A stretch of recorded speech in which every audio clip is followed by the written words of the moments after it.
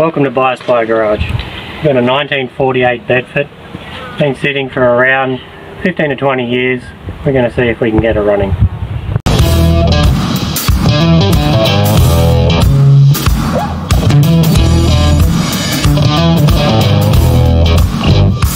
Uh, we've got the truck back here at home now. Um, it's a 1948 Bedford, uh, six cylinder. So we're just going to stick a battery in it. We've uh, made up a uh, Vice Grip battery clamp. Thanks to Vice Grip Garage, thank you very much for that one. And uh, we're going to try and uh, wind this engine over and just see if we can get some life out of it.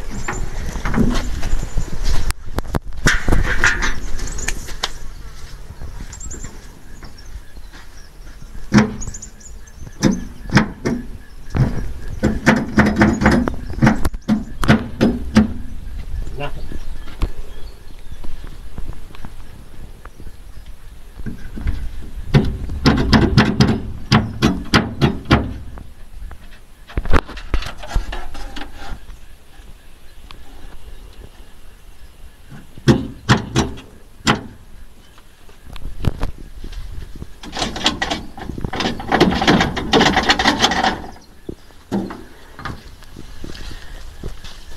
Hmm.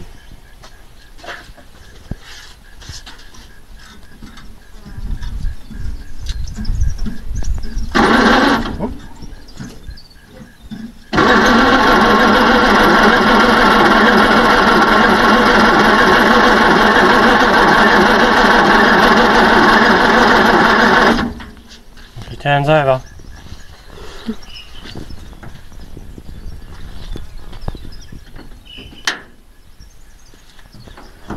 a look at the uh, the point. He's still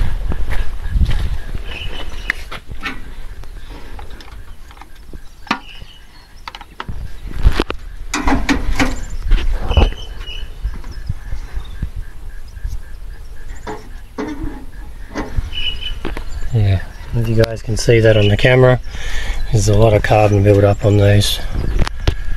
Um, rotor button. Yeah, if you could clean it up, you'll be right. Let's put that battery back on and we'll see if we get any spark on our points.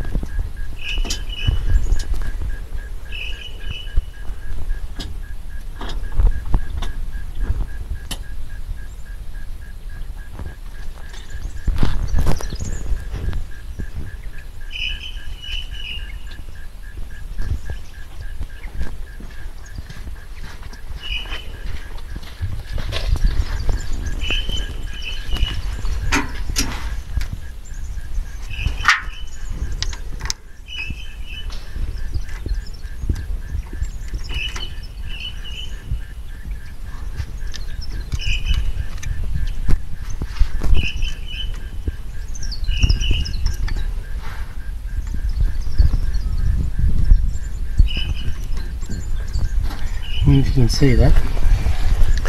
There's a teeny tiny little spark just down there on those points.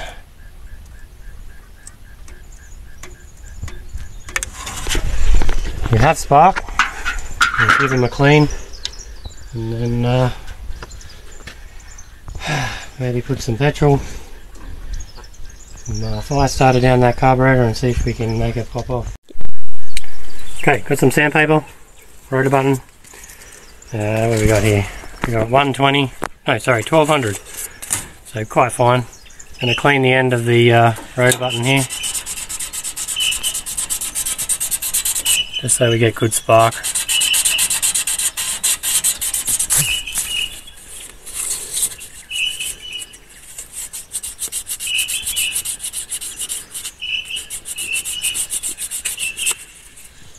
Nice and shiny. Go ahead and clean those points up. Points are all done. Um, clean up the distributor cap, rotor button, gone ahead and put some fuel down there. Now I use two stroke just to help those valves and stuff lube up before it starts. And don't want it too dry. It's been sitting forever. So um, we're going to go ahead now and just try and uh, crank this on.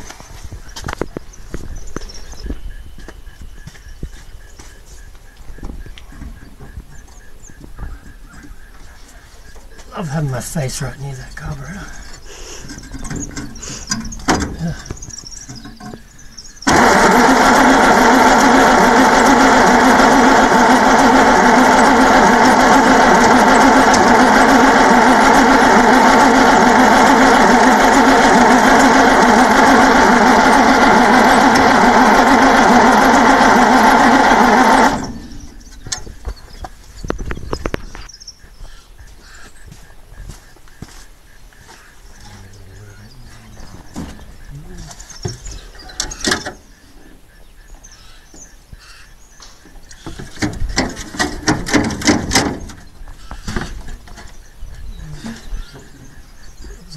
It's flooding now.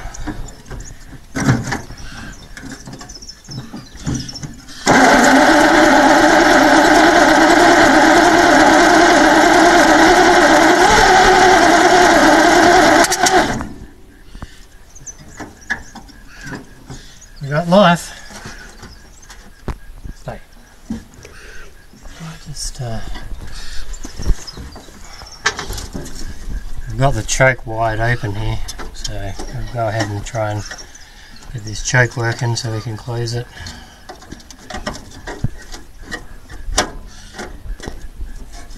About there, so. Hmm.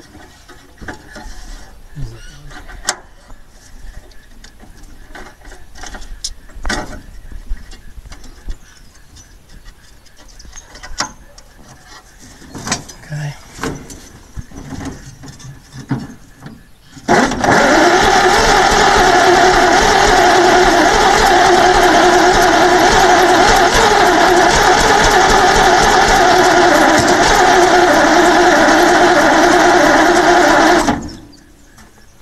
Bit more fuel.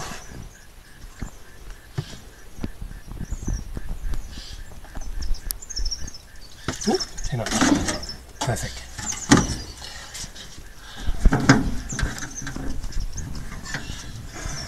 You're probably wondering why I've got my arm in here. These have a pull start little lever up here on the dash, but it's not engaging that starter motor properly. So um, I've got to manually do it, which is uh, always fun when you got your face right near a carburetor.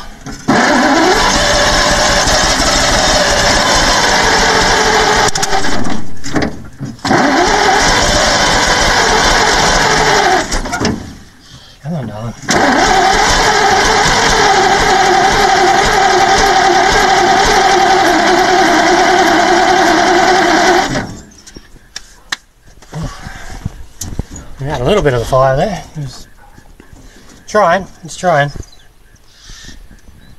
Um.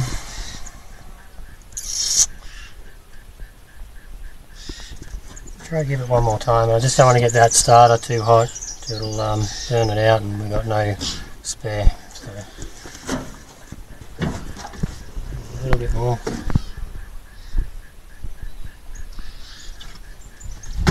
Think it's coming out as quick as I can put it in. It's thirsty.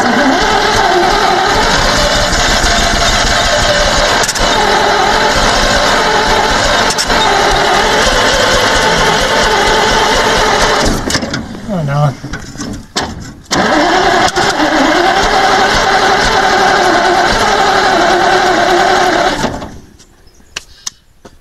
Well, I think that's it for now, guys. I think we'll go ahead and pull that um, carby off, um, check the needle and see. have a look inside. It's probably full of crap. Uh, it's been sitting for 20 plus years, maybe more, since the last ran. I don't really know, just taking a guess. Considering we've got uh, all of that. So, good chance it'll catch fire before it actually starts. So I'll go ahead, skip to the um, pulling that carby off and cleaning it, and um, we'll get it back on there and See what happens. Got the carby cleaned, put back on. Come and have a closer look at this. This is high performance here, fellas. Okay, if you want modifications, you do that. They're great. But seriously, we've got uh, little little electric fuel pump hooked up, makeshift fuel tank, um, high quality. Got the radiator holding water now. Um, a battery in it. So what we're going to do is wind it over and fire it up again and see if we can get this thing to idle. So uh, here we go.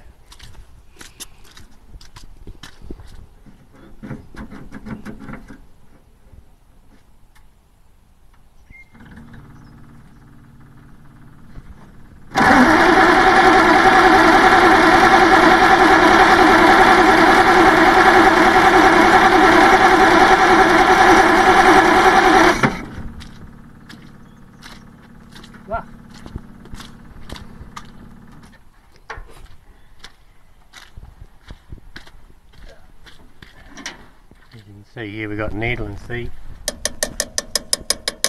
sticking. You just give it a tap, should free it up.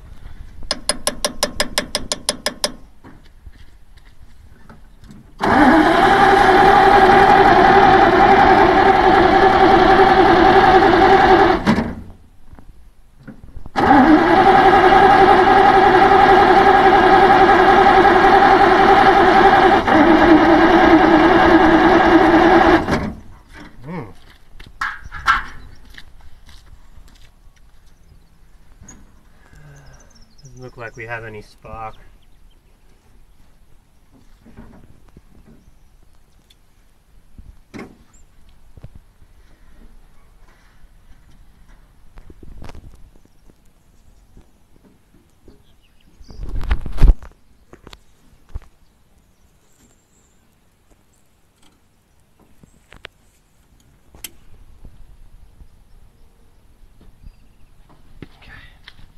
Here we go again. Come on, baby.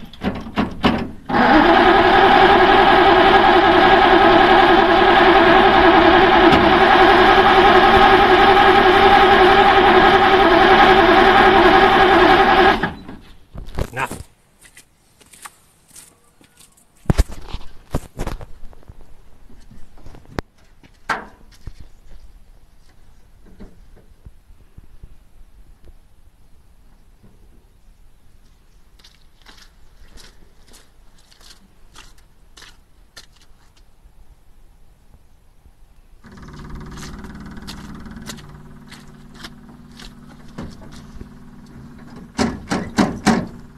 Come on.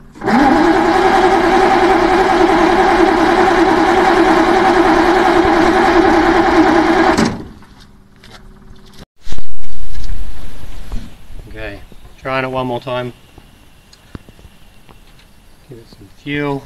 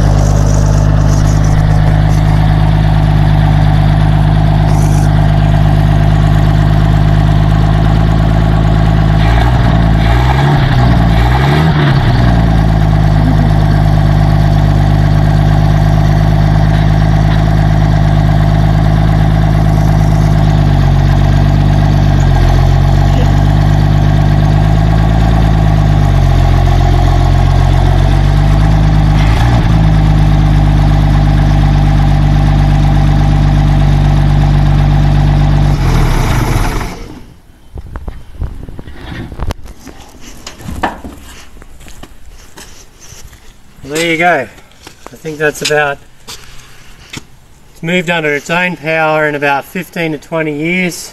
Um, it's got a clutch, no brakes. Um, I did hook up the handbrake, so if we got to this stage we can actually maybe take it for a putter. But um, it's thirsty.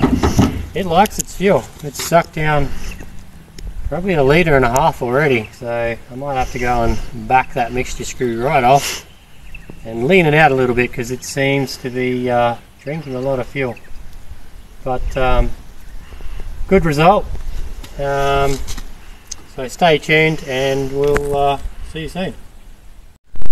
I'm itching to drive this thing. I was going to wait, but I think I'm just going to jump right in there, take it for a spin, and uh, yeah, let's do it.